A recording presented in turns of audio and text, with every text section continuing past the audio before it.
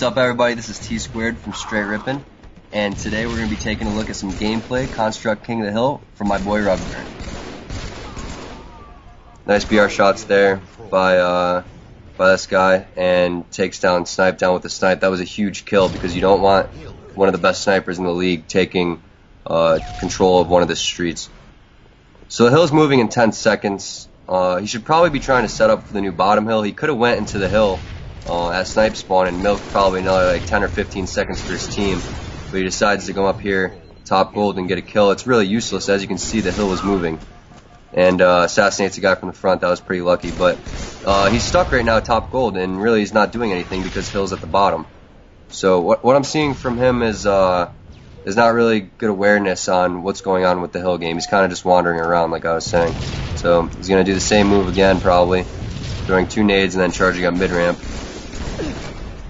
different scenario this time because Brian had good shots and he can get double teamed. So I mean, he's, he's kind of playing repetitive. He's not really looking to get control. He's he's in a median right now of not playing aggressive, but not playing passive. He needs to he needs to pick what he's going to do and stick with it. Can't just keep charging the hill over and over again, hoping to get one kill. There's a smart move waiting right there for his teammate to help shoot. They take him down and he gets in the hill. This is the first time I've seen him really go for the objective. Uh, someone ended up dropping out on him, so he started playing for, with his team, and it was paying off for a little bit, but then he ends up getting killed.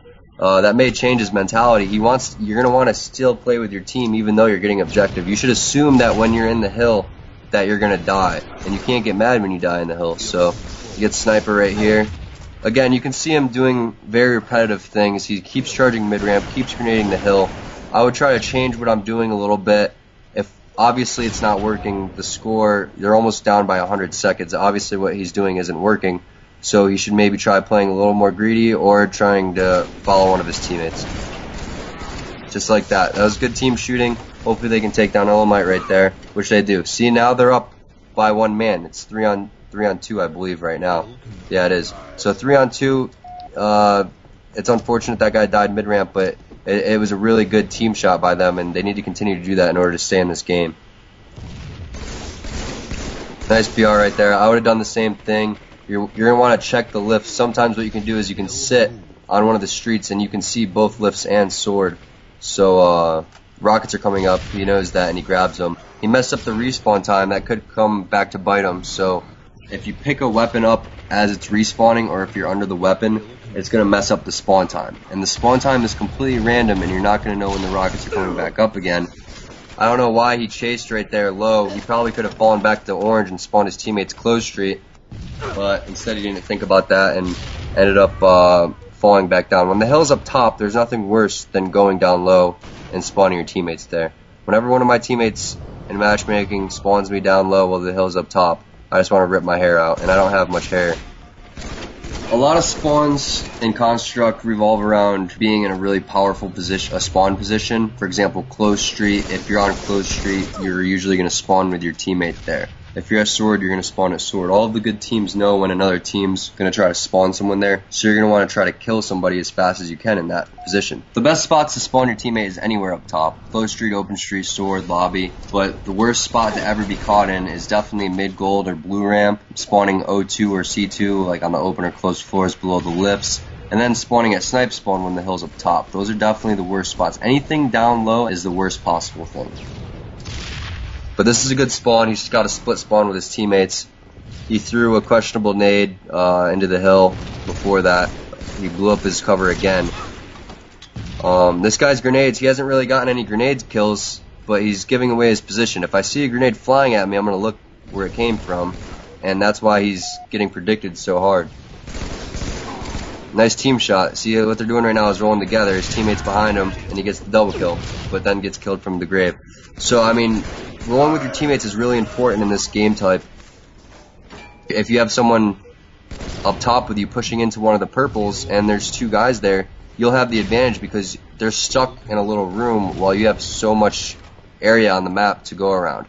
So uh, he grabs a sniper and lifts back up. Looks like he's going to try to play a little more greedy here. He gets the, the no scope there, the quick scope right there. He gets the double kill. This is good, but he may have been able to help his team a little bit more by staying in the hill and getting about 15 seconds it's a 50-50 call. When you're down by so much, you want to try to kind of make the score respectable or try to get your teammates together for a comeback, and you're not going to do that by uh, going close street, getting two kills, and then dying. All right, we're going to cut it early right here. I think we all know how this one's going to end. Let's take a look at how Rugburn did. So for pros, I would definitely say that Rugburn has a solid BR. He has really good shots, and he seemed to have a pretty decent sniper rifle. One thing he needs to work on is not charging the hill so much. A lot of times what he did was he charged, threw a grenade, blew up his position, they saw him, and then they killed him. He needs to work on rolling with his teammates a lot more and playing more of a team game. Once you have the shot down, that's probably the easiest part of the game. The hardest part is working as a team, getting a team together, and finding your role as a player. So maybe what he could do is go out, find three players just like himself around the same skill level, form a team, and then find out how good he really is. Overall, I'd give Rugburn a C. He has a really good BR, he has solid shots.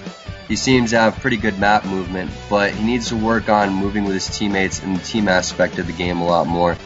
Alright guys, this is T Squared signing out. I've been your instructor for today. I hope you enjoyed and learned something from the video. If you want to see more videos or submit your gameplay to be reviewed, go to mlgpro.com slash more to it.